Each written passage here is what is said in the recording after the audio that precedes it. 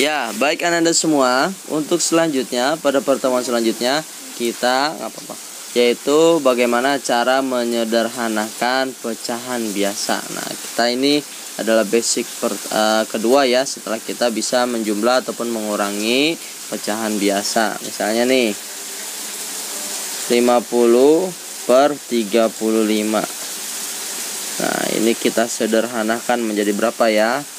Nah, kita cari satu angka yang bisa membagi uh, kedua angka tersebut, pembilang dan penyebut. Kita bagi misalnya karena ini 50, ini 35, pasti dibagi 5 ya. Jadi kita bagi 5. Ini bagi 5. Nah, 50 dibagi 5 berapa? Sama dengan 10 karena 10 dikali 5 50. Selanjutnya 35 dibagi 5 berapa? 5 kali berapa yang hasilnya 35 adalah 7. Nah, sampai di sini ya. Yaitu kita sederhanakan. Jadi intinya kita cari satu angka yang bisa membagi pembilang dan penyebutnya. Nah, selanjutnya kita ubah menjadi campuran. Nah, kita tulis dulu. Nah, 7. Nah, 7 dikali berapa yang mendekati 10 adalah 1. 7 kali 1 adalah 7 Terus selanjutnya 10 dikurang 7 sama dengan sisanya berapa? 3. Nah, jadi Anda semua ini penyederhanaan ya. Dari uh, pecahan biasa bisa diubah jadi kecampuran. Nah, ini yang paling pentingnya adalah kita menemukan angka yang bisa membagi pembilang dan penyebut. Baik, Anda semua, selanjutnya 24 per 10 kita sederhanakan ya. Menjadi berapa ya? 24 kita bagi dua dulu deh. Kita bagi dua ya. 24 dibagi dua sama dengan berapa? 12 nah sekarang 24 dibagi dua sama dengan 12 karena dua kali dua 12 kali 2 sama dengan 24 Nah selanjutnya 10 dibagi 2 berapa? 5 Iya, 10 dibagi 2 sama dengan 5 karena 5 kali 2 sama dengan 10. Nah, untuk selanjutnya kita sederhanakan Anda semua. Kita bagi genap dan ganjil 12 dibagi 2 bisa, ternyata 5 nggak bisa, hasilnya koma ya. Sekarang kita rubah jadi pecahan campuran. Nah, jadi kita tulis penyebutnya 5.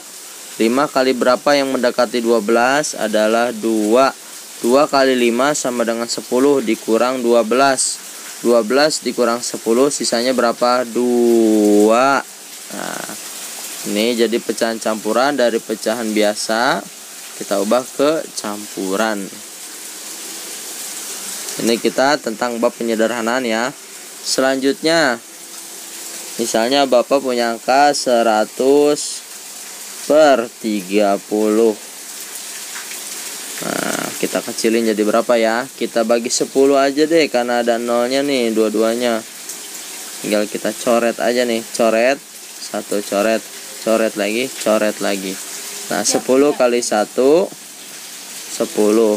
3 kali 1 3. Jadi 10 per 3. Nah, selanjutnya ada semua kita ubah menjadi pecahan campuran. Tulis penyebutnya ini 3 3 dikali berapa yang mendekati 10 dikali 3 Nah 3 dikali 3 kan 9 10 dikurang 9 berapa?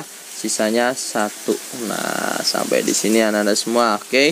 Ada lagi yang ingin tanyakan Ya kita coba lagi. Selanjutnya.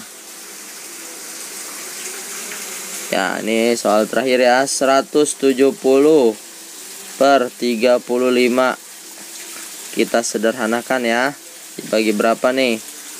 Kita bagi ini karena kelipatannya 5 kita bagi 5 deh biar sama. Ini bagi 5 nah 170 dibagi 5 berapa nanda semua? Kita tulis aja dulu. Dibagi 5 5 kali berapa yang mendekati 17 3 3 kali 5 15 dikurang 5 7 kurang 5 2 20 dibagi 5 4 jadi hasilnya 34 ya 170 dibagi 5 adalah 34 anda, -anda semua. Tulis 34 nah selanjutnya 35 dibagi 5 adalah 7 nah ini kira-kira bisa dikecilin nggak? Nah 34 dibagi 2 bisa 30 eh 7 dibagi 2 nggak bisa nah jadi kita langsung ubah ke campuran saja tulis penyebutnya 7 7 dikali berapa yang mendekati 35 Anda semua? Kalau 5 berapa? 35 kelewat. Kalau dikali 4 28. Nah, tinggal 34 dikurang 28. Ya. Sekarang ini 14 14 dikurang 8 8